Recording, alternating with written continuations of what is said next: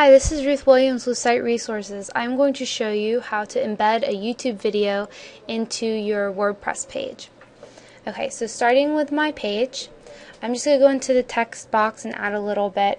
Um, uh, I'm going to say, check out this cool video.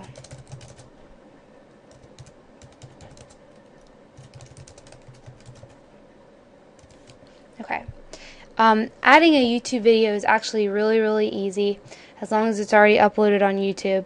And I'll add another tutorial later if there's um, a need for it, if people need help with actually starting a YouTube account. But for today, let's assume you have it set up. And I already have pulled up a uh, video here.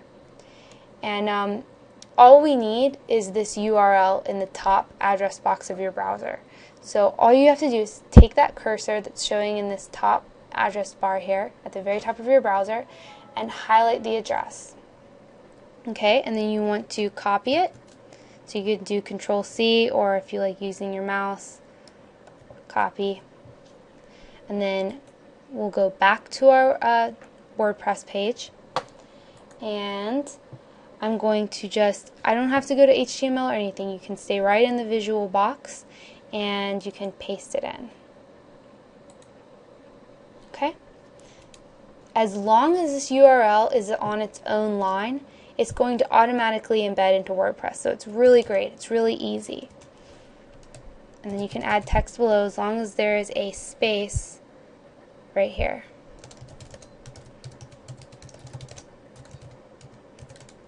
Okay. So let's go ahead and click update We'll go over to your publish box on the right and click update. And I will show you what this looks like. Uh, click on view page. And there it is right in your page. And you can play it right from within your uh, website. I had this passion and this drive to do something that I knew needed to be done, but I didn't know exactly where to start or what to build off of. I knew. And that's all there is to adding a YouTube video to your WordPress site.